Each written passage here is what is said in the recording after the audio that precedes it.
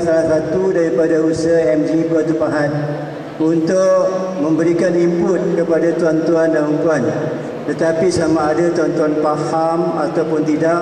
bagi saya kita dah sampaikan satu info yang pertama pada petang ini.